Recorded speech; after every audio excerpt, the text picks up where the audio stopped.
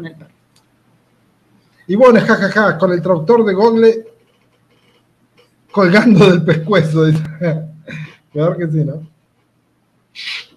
AFP González. Oi, AFP. Tem empresas brasileiras conhecidas mundo afora, fundadas por imigrantes que vieram, vieram ao Brasil quase sem dinheiro e hoje são milionários. O que seria do Brasil se não fossem os imigrantes? É verdade, FP.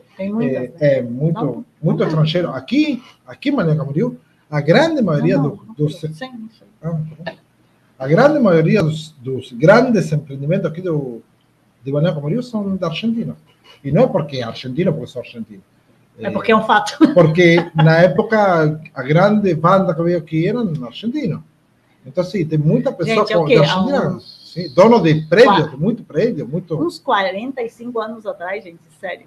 Não, uns 40 anos atrás. Até menos, né? É, até antes, né? Mas já se. ah, eu lembro que eu vinha na praia e a gente só escutava argentino. Argentino, tá? Não estou falando de chileno, não estou falando de Paraguai, Uruguai, tinha um pouco, mas a maioria era argentino aqui, tá? Então, assim, eles vinham mesmo em, em bando, eles invadiam a cidade, literalmente, tá? Bem, temos. Ah, aqui tem o áudio do Gustavo, mas é o mesmo que ele perguntou aí, né? Não me lembro. Vamos escutar. Deixa eu ver. Hola, ¿qué tal? Buenas tardes. Eh, bueno, soy Gustavo. Eh, nada, te comento, estoy viviendo acá en, hace cuatro meses en Brasil. Estoy precisamente en Colombo, que está muy pegadito a la ciudad de Curitiba. Eh, me encontré al llegar que Curitiba tiene los alquileres muy, pero muy caros. Me sorprendió y, y bueno, yo vivía en un cuartito muy pequeño en una pensión. Eh, y nada, era un desastre. Eh, hasta que conocí una familia muy buena y me vine a vivir a Colombo con ellos. Yo alquilo una casa con ellos. Eh, yo me vine acá porque, bueno, a esta casa porque, bueno, yo me traje de Argentina mi perro, mi cachorro. Yo le había comentado a ustedes que yo tenía un perrito y, y no lo quería dejar solo allá abandonado ni con nadie. Así que, bueno, me traje mi perrito y, y aquí de que estoy he trabajado en una zapatería con la familia que yo conocí, que son parientes de la familia donde yo estoy alquilando ahora. Eh, trabajé dos meses con ellos en una zapatería, en, en negro obviamente, no, no registrado. Le ayudaba a ellos en el depósito, a acomodar el, calzado, la mercadería, y eh, a veces iba al salón a atender al público, y bueno, cosas así.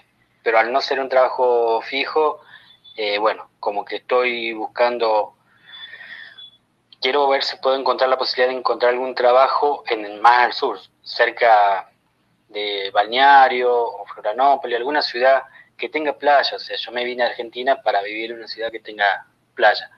Eh, sé que Balneario Camboriú, Florianópolis son ciudades muy, muy caras para alquilar. Eso, soy consciente de eso.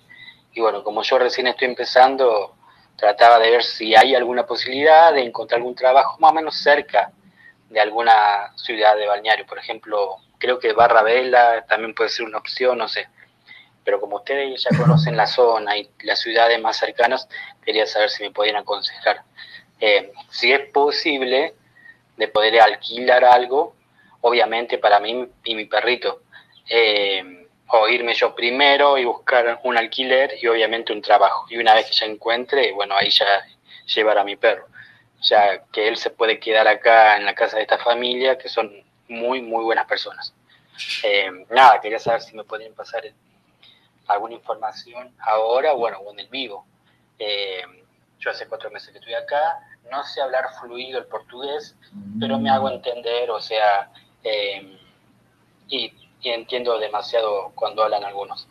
Eh, así que bueno, eh, quería saber un poco de eso. Bien, hay otro audio de él. A ver. Yo acá en Colombo, precisamente, eh, en realidad no me gusta la ciudad, o sea, muy, la gente muy cerrada, muy, muy, muy cerrada. Estoy acostumbrado a otra costumbre de gente, yo sé que son diferentes culturas, pero es muy cerrada la gente. Y la ciudad de Colombo no me gusta. Eh, bueno, yo para ir aprovechando el tiempo, acá estuve tirando algunos currículum y me llamaron de un supermercado eh, para hacer eh, seguridad, porque yo ya trabajé 14 años en Argentina. Eh, nada, me dijeron que me iban a estar avisando, que me iban a estar llamando, eso fue antes de ayer. Pero bueno, eh, igualmente quiero ver si hay posibilidades de ir a otro lado. Eh, tengo entendido que por aquella zona también hay muchos supermercados, muchos mercadistas. Eh, como para empezar, no sé si se puede trabajar de repositor, inclusive de seguridad, me dijeron que, se puede. Eh, bueno, pero primero tengo que saber si hay posibilidades de hallar algún aluguel que para mí, mi perrito, y obviamente tener trabajo. Yo lo que quiero es trabajar todo el año, no solamente en temporada. Bien, mira, hay algunas cosas que te quería comentar aprovechando, ¿no? Colombo es cerrada, sí. Blumenau también. Brusque también. Eh, son ciudades muy... Es como que a mí me pasó, cuando fui a vivir a Brusque, yo era el extranjero, no era... No es como acá, que soy un extranjero más. Vos sos el extranjero. Es como que sos el de afuera, el diferente, no sé cómo decirlo. Entonces son realmente empresas, eh, ciudades cerradas, ¿sí? Yo con el tiempo me fui haciendo conocer, eh, la gente lo conocía online, la familia online, entonces me facilitó mucho. Pero si yo hubiese ido solo, es difícil, realmente es difícil. Es que cuesta, ciudades de ese tipo, cuesta, lleva un tiempo. Por ejemplo, vos vas a instalarte, ahí vos tenés que ser muy simpático, ir hablando con la gente, la gente te va a preguntar, ahí ellos te van a preguntar si tu familia es de de acá, de qué apellido es, es más o menos así, y vos decís, no, no, yo no soy, ah, vos sos extranjero, ¿de dónde sos? Son curiosos, sí, pero para tener una amistad o para tener una cosa, cuesta, sí, cuesta. Esa ciudad cuesta. Después, eh, también cuesta, pero va a depender más de vos, de, ah, de lo que la gente, de la gente. Si vos te abrís más, porque también hay una cuestión que a veces yo veo, las personas que vienen, los extranjeros, no se abren a los brasileños a veces. Entonces también, si vos no das abertura, ¿no? Como nosotros decimos, no da espacio para que ellos te hablen, que, que vos seas eh, simpático y hables y, y, hables y cada vez hable más y, y, vaya con la gente, ahí sí, porque si no ellos van a mantener esa distancia y con más razón en esas ciudades, ¿entendés? O que va a ser con que vos tengas un poco más de golpe en el trabajo, intentar amistad, intentar hacer cosas, ir en la onda de ellos. Entonces, si vos no te dejas eh, entrar en la cultura, también te va a dificultar, ¿no? Porque a veces a ellos, qué sé yo, ah, les gusta ir a tal lugar, a mí no me gusta, no voy, vaya igual.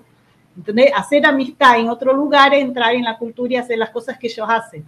Y a veces el extranjero no quiere. Entonces, obviamente, no se va a hacer conocer si no lo hace. Entonces también tiene esa cuestión en esos lugares. Y cuesta, sí, cuesta, es, es más difícil. Y el tema de otro tema que, que escuchando todo y pues, me quedé pensando es el tema del portugués, ¿sí? También vos dijiste, yo me hago entender y me entienden, ¿sí? El tema es así. Vos ponete a pensar, vos, eh, Gustavo, imagínate que vos sos propietario de una empresa que te costó un montón tenerla, conseguir el dinero para abrir tu empresa, todo y viene una persona a pedirte trabajo y vos necesitas una persona para trabajar, pero resulta ser que esta persona no habla bien el idioma. ¿Vos pondrías a esa persona a atender tus clientes que tanto te costó tener? Es difícil, ¿me entendés? Entonces no es una cuestión de ellos, una cuestión, el que, está, el que, el que le falta es a vos.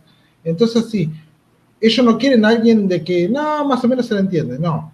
Que ellos quieren a alguien que el cliente venga y pregunte y la persona le puede hablar, le puede ofrecer, le pueda tener que tenga un poco más de vocabulario más abierto. Es, algo, una, es una negociación, es un comercio. Entonces es vital saber hablar. Si vos no sabes hablar, practica, Gustavo, practica. Y no es solamente hablar, es, escribir también. Aprende a escribir, aprende y, y aprende de la mejor manera que pueda. Hay cursos online de todos lados ponete a escuchar. Yo aprendí portugués leyendo el diario y repitiendo, leía y escribía, así aprendí. Escuchaba la radio y repetía lo que decía la radio. en la época no había, internet. no había internet así como hoy, gente. Entonces, sí. Hoy en día es mucho más fácil aprender. Si vos, querés, aprendés. Vos podés. Y mira, te digo que cuatro meses acá ya deberías hablar, ¿eh? Sí.